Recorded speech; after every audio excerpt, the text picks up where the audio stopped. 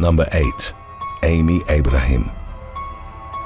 In December of 2016, California woman Amy Abraham and her younger sister Crystal were part of a kayaking tour exploring the Wailua River on the Hawaiian island of Kauai as they crossed Uluwehi Falls with a rope at around 5 p.m. The two women and others in their group were struck by a flash flood. It was considered an extremely rare occurrence as there hadn't been any rain, neither during the kayaking trip nor the associated hike. According to the owner of Kayak Wailua, the flood warnings had come well after the tour had commenced. The water suddenly swelled from slow moving and shallow to deep and raging. Crystal and the others were rescued, but Amy was swept from her sister's side and taken further downstream. Her lifeless body was pulled from the water the following day. Number 7. Attack on the Black Cat Track in September of 2013, Australian nurse Christy King was leading a trekking group through the Black Cat Track in Morobe Province, Papua New Guinea. King, who was then in her late 30s, believed it would be a dream job, but the PNG Trekking Adventures Tour went horribly wrong within 24 hours. After making camp, King's group, consisting of 19 porters and 8 Australian trekkers, was ambushed by a gang of local bandits known as Rascals who were armed with firearms, spears, and bush knives. The expedition was robbed at gunpoint and two porters were hacked to death with machetes at the scene while others were left unable to walk after sustaining severe leg wounds. Trekker Nick Bennett was struck in the head with the butt of a firearm as he peeked out of his tent to check on the commotion. Tourist Peter Stevens looked up at one of the attackers and had a trekking pole thrown at him which immediately lodged in his leg. Other trekkers were harmed, but not to a life-threatening degree as they reportedly hadn't been the primary targets. It would later be determined that the rascal attack had been triggered by a local grudge related to money and the hiring of porters from different villages along the route. Following the ambush, the group had been left without shelter in the dark and with heavy rain pouring down on them. They were also terrified that the bandits might return. King then made the unenviable decision of leaving the injured porters behind with food, water, and in the company of some of their unhurt colleagues. King and the others only left when they received confirmation that a rescue party was on its way.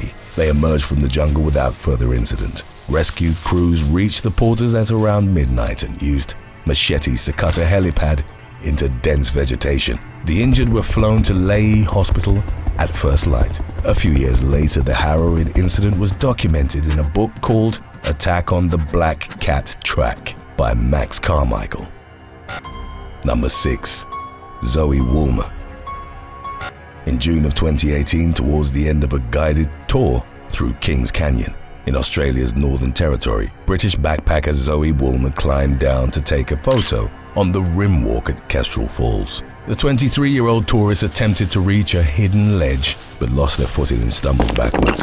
She fell roughly 50 feet and impacted the rocks below. Woolmer sustained skull fractures leading to bleeding on the brain, a fractured pelvis, broken back, sternum, and right shoulder blade. CPR was performed at the scene, but she succumbed to her injuries. An investigation into her death was subsequently set into motion. Directors of the Rock Tour, an Alice Springs-based company, pleaded guilty to failing to comply with their health and safety duty. Prior to the accident, correspondence between the Parks and Wildlife Commission and the Rock Tour indicated that the former had told the operator and other touring companies that they should stay at least six and a half feet away from the canyon edge at all times. Warning signs on the route clearly announced the dangers. A court was told that the guide on the hike had shown Woolmer how to take a daredevil photo on the unmarked path. The pose advertised on the Rock Tour's social media was meant to make it look as if a tourist was clinging from the cliff. Woolmer did as had been demonstrated.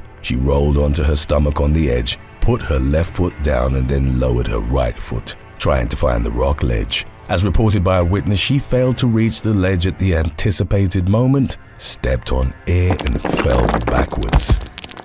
Number 5. Carly McConaughey and Adam Barnett.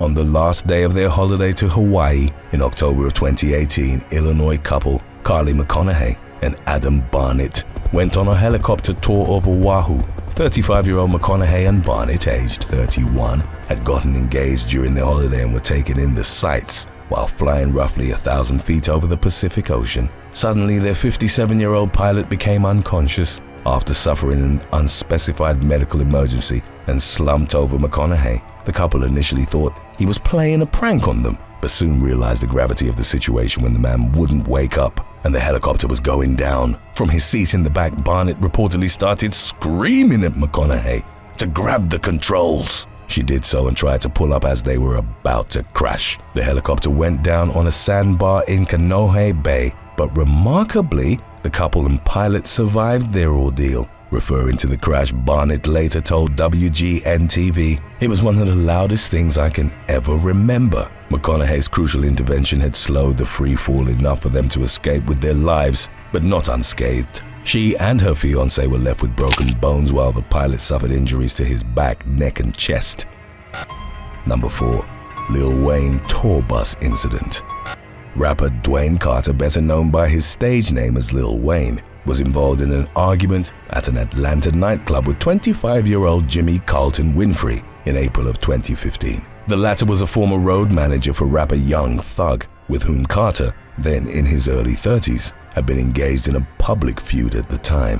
Winfrey allegedly threatened the rapper at the club and then walked away. Later on, minutes after Carter and his entourage had left the venue, two of his tour buses were shot up in a drive-by. The authorities were called to the Mandarin Oriental Hotel on Peachtree Road at around 3.30 a.m. No injuries were reported, but the ensuing investigation revealed that Winfrey had been the culprit. He'd pulled up alongside the buses in his white Chevrolet Camaro and opened fire, causing roughly $20,000 worth of damages. It was reported that Winfrey then made calls to cell phones that were connected to Young Thug and Birdman, a former associate of Carter's, with whom he'd also been feuding. Investigators determined that Winfrey had gone after the rapper in order to increase his street credibility and status within the Bloods gang, with whom all the aforementioned artists reportedly had ties. Winfrey was indicted on 30 counts, but they were ultimately dropped following a deal in which he pleaded guilty to six counts of violating the Street Gang Terrorism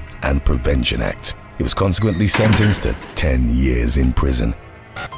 Number 3. Ireneusz Lutreski Polish tourist Ireneusz Lutreski was on a double-decker bus tour through London in August of 2015.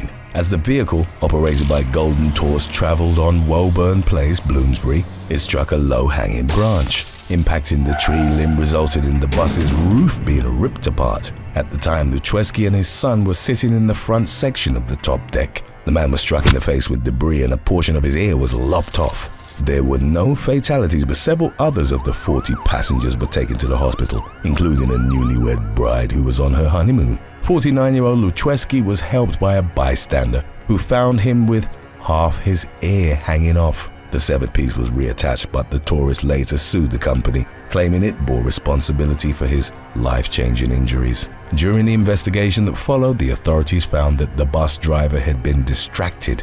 CCTV footage taken in the moments leading up to the collision reportedly showed him with both hands off the steering wheel while he was examining a map in the aftermath, Golden Tours admitted 95% liability in the accident and began settlement negotiations with Lutreski.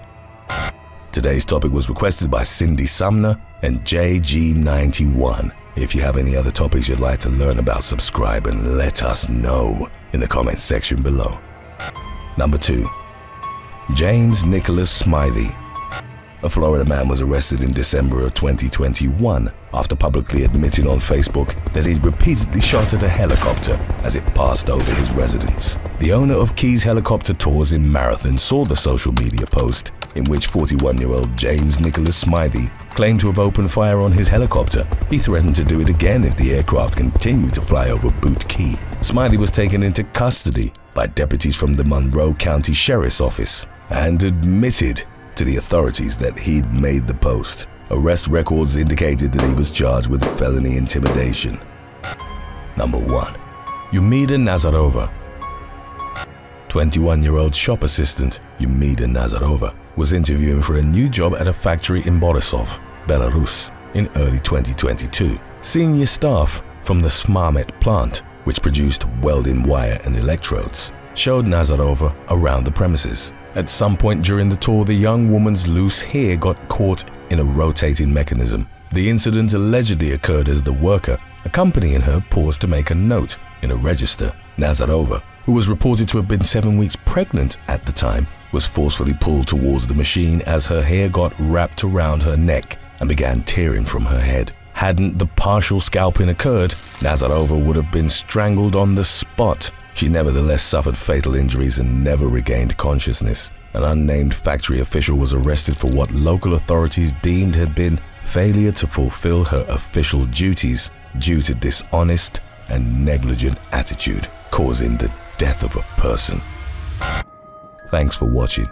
Would you rather join an expedition exploring the deadliest parts of the Amazon or lead a group through the most dangerous parts of your city? Let us know in the comments section below.